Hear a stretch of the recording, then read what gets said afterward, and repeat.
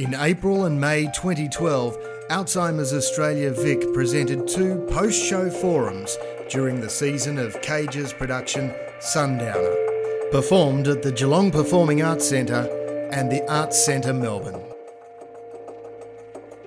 Um, I'm a, a mess. Um, I actually thought it was extraordinarily moving. A very difficult subject treated extremely well, full of feeling, but absolutely terrifying.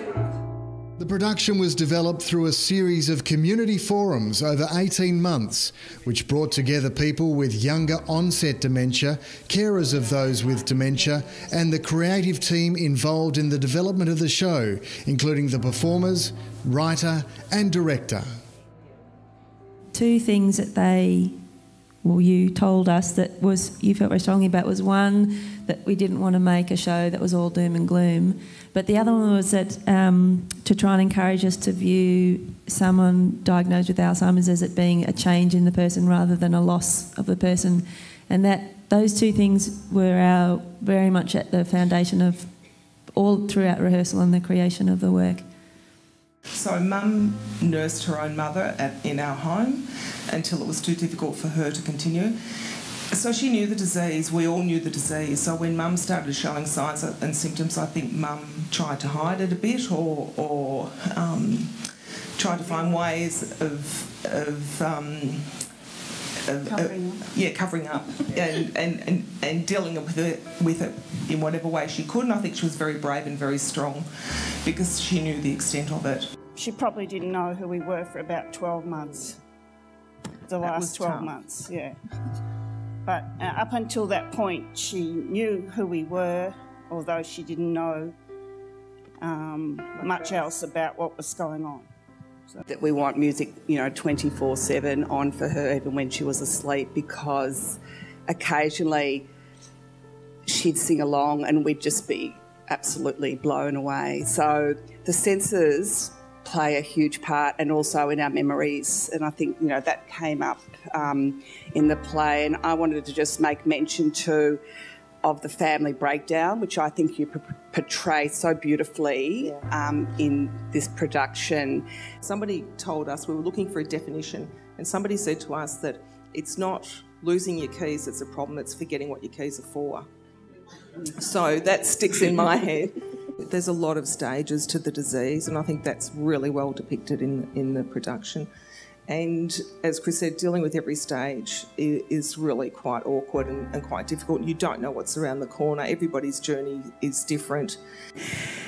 And to have the support systems in place is so important to just help you over those hurdles.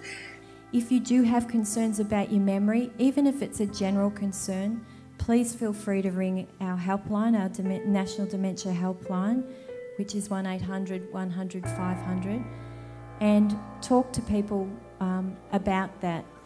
And it is extremely important to support people to live as well as they can for as long as they can and take what joy there is every day. Um, and that's very important. Oh, I feel like almost weepy actually. It's been really, really affecting. Um, I thought it uh, just portrayed it so well, and there's not one moment where it was overdone. Uh, it just makes you think of you got to cherish your moments with your loved ones. It's a very gratifying thing for us because when we first, and our general manager Simone Collins is here, and you know, and I said, oh, you know, Gerard and I are thinking about doing a show about dementia, and her, fa- you know, her face fell, going, "Oh, how are we going to sell that?" but it's really great, and you know, GPAC have been fantastic you know, and even this event today is fantastic. And we are going to Melbourne, and we're doing a, a six-month national tour next year, which is really unheard of for. A, we're a very small company, and it's a very strange topic to be saying we're doing, you know, a show about. So it is going to tour to lots of regional venues, and we hope to have forums like this all over the place to uh, exactly as you say, try and get people talking about it and try and using, yeah, demystifying it. It didn't tell us about what this experience might be like for somebody. It sort of it, um, it allowed us to feel it.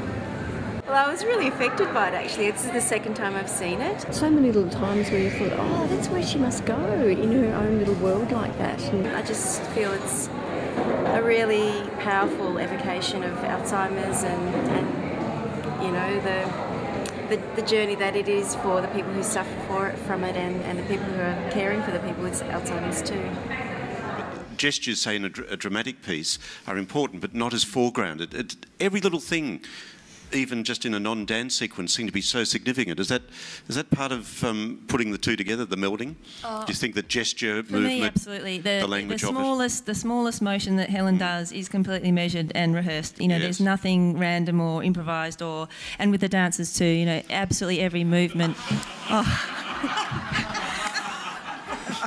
That's what we say publicly. Did you notice She that? is, Helen is the most amazing actress, and she's so self-deprecating. It drives me crazy. December or January, mum was home looking after herself, by herself, doing everything. Now, this week, she's been put into a nursing home. It sounds like your mother's progress has been very rapid, and that's a, not a normal pattern.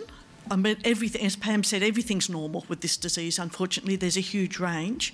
Um, and it's not unusual for a family to think there's something odd about mum, even for years before they finally get a diagnosis.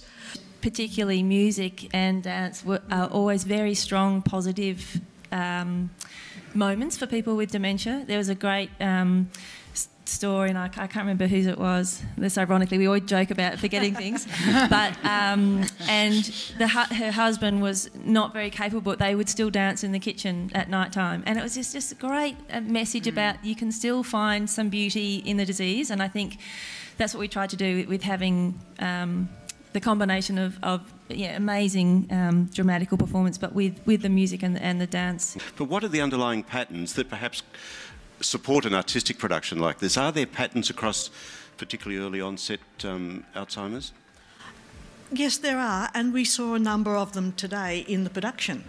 Um, the whole theme of the relationship between the mother and the daughter and how that turns around as the disease progresses. How the daughter, and some of the reasons that people will call me looking for some emotional support will be here I am, I'm looking after mum, and I'm the one that's telling my mum what to do, and it shouldn't be like this. And things like that are very traumatic for family members. My father used to say, "Let's have a sundowner," and so that was a drink at you know six o'clock or on a on an evening. It was a lovely experience. But there is a phenomenon called sundowner syndrome. People with dementia often get very agitated, um, anxious.